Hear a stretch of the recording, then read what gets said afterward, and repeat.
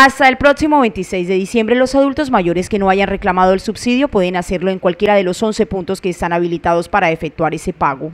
La Secretaría de Desarrollo Económico y Social les hace un llamado a los adultos mayores del municipio de Barranca Bermeja para que se acerquen a hacer el cobro de los meses correspondientes a noviembre y diciembre pagos que iniciaron desde el primero de diciembre y vamos hasta el 26 del mismo mes. Contamos con 11 puntos habilitados, son puntos efectis distribuidos en los diferentes eh, barrios de la ciudad, dos en los corregimientos.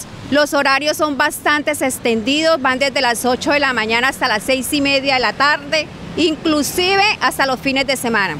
Si no puede ir hasta alguno de estos puntos, también tiene la siguiente opción. Sí, para aquellos adultos mayores que de pronto por su avanzada edad o enfermedad no pueden acercarse a realizar el cobro, pueden ah, realizarlo a través de poder debidamente diligenciado ante notario público. Aquellos que definitivamente no cobren entrarán en proceso de bloqueo y posterior retiro del programa.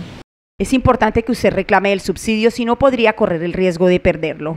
Contamos con un listado de priorizados, una lista de espera de 2.300 adultos mayores, eh, aquellos abuelitos que no hayan salido en el programa.